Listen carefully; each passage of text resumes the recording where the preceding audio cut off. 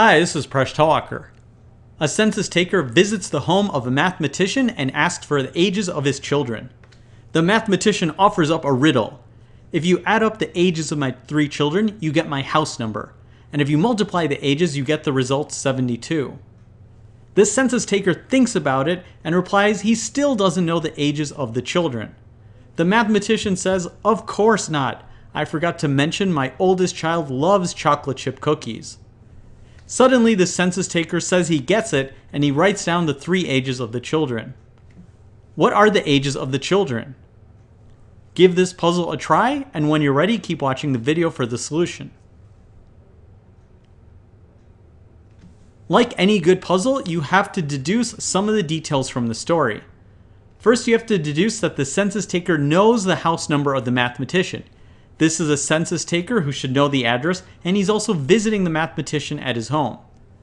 The other detail, which is a little more controversial but is generally common sense, is that you have to conclude the mathematician has an oldest child with a distinct age.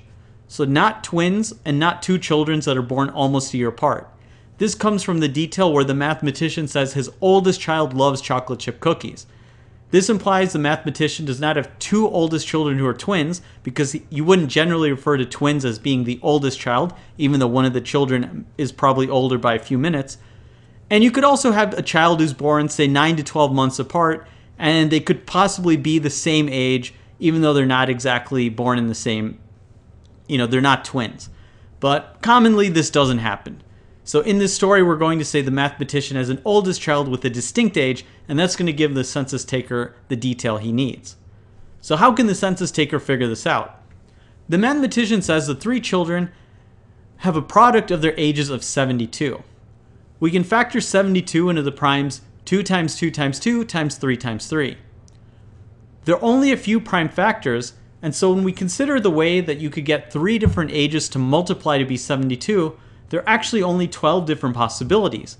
These are written in increasing order. You could have 1 172, 1 236, 1 324, 1 418, 1 612, 189, 2 218, 2 312, 249, 266, 338, or 346. The census taker could work out the sum of the three ages to get these results. So now, here's what goes through the census taker's mind. The mathematician says if you add up the three ages, you get the house number.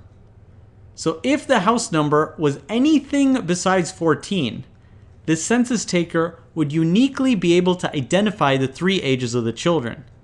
If the house number was uh, 22, for example, the census taker would know the children have to be aged 2, 2, and 18.